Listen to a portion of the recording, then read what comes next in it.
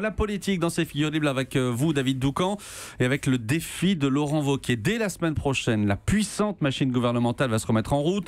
Les vœux du président de la République, le Conseil des ministres, séminaire gouvernemental de rentrée, etc., etc. Et en face, s'opposer par la droite pour Laurent Wauquiez, mais ce ne sera pas facile. Oui, on peut dire qu'il aura un problème d'oxygène en ce début 2018. Les sujets du début de l'année ne seront pas pour lui. La loi asile-immigration, par Mhm. exemple. Gérard Collomb, il est plus dur que Nicolas Sarkozy, qui en 2009 avait essayé puis renoncé à aller chercher les migrants dans les centres d'hébergement d'urgence. Sarkozy n'a pas osé, Collomb l'a fait. Que va dire la droite? Autre sujet, Notre-Dame-des-Landes. Quelle que soit la décision, le gouvernement évacuera la ZAD. Que pourront faire les responsables de droite à part applaudir Autre sujet, un autre sujet un peu moins euh, euh, sensible, passer la vitesse minimum sur les nationales de 90 à 80 km/h. La droite essaiera sans doute de se faire le défenseur des provinces et des automobilistes. Quel espace étroit, compliqué face aux chiffres de la sécurité routière qui implacablement désignent la vitesse euh, comme cause majeure des morts sur la route. Enfin, le grand discours d'Emmanuel Macron sur la laïcité. Un élu, pourtant euh, fidèle soutien de Laurent Wauquiez, nous confiait à ce sujet, et je le cite, ce seront des belles formules, on n'arrivera pas à s'y opposer, on ne retiendra que son discours, on va se consoler avec la hausse de la CSG au 1er janvier 2018 et d'éventuelles bourdes comme le Tokyo-Paris du Premier ministre, mais même ça, ça ne prend pas.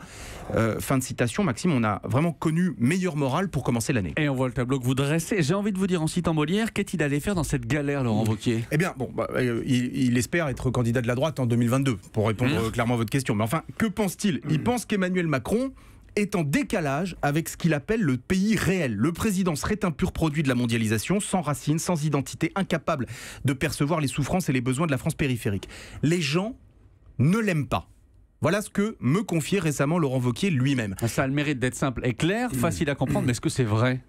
Alors, c'est d'abord faire totalement abstraction de l'élection d'Emmanuel Macron il y a seulement sept mois. Et il y a là un point commun saisissant entre Laurent Wauquiez et Jean-Luc Mélenchon. Ils contestent tous les deux la légitimité euh, de, euh, d'Emmanuel Macron, la légitimité démocratique du pouvoir. L'élection face à Marine Le Pen ne compterait pas tant les Français ont intégré qu'il était vital de faire barrage à l'extrême droite. Admettons. Mais alors comment expliquer la popularité en hausse? À plus de 50% du président de la République et de son Premier ministre Surtout que lorsqu'on regarde les sondages de près, on voit que c'est auprès de l'électorat de droite qu'Emmanuel Macron marque des points. Et quand on les regarde d'encore plus près, on voit que les Français disent vouloir laisser sa chance à ce nouveau président. Ils n'adhèrent pas forcément idéologiquement à sa politique, mais ils constatent qu'il fait bouger les choses et ils demandent à voir. Du coup, eh bien, la seule chose, la seule clé qui pourrait euh, débloquer l'horizon pour Laurent Wauquiez, c'est l'échec d'Emmanuel Macron. Le président s'est donné deux ans pour obtenir des résultats sur le seul front qui compte, celui du chômage. S'il échoue, alors la droite redeviendra un, un tant soit peu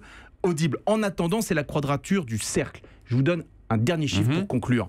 82 82 des 100 députés LR ont voté en faveur des ordonnances travail.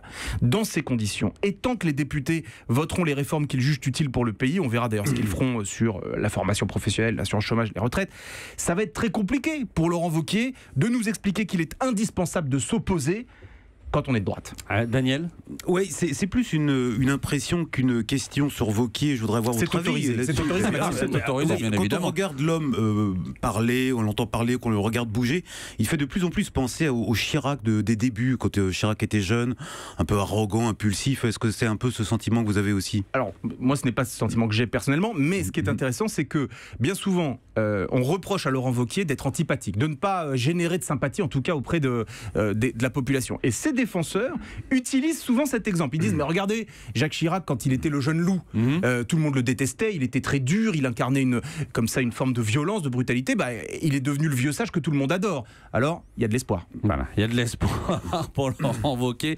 Euh, merci David Doucan.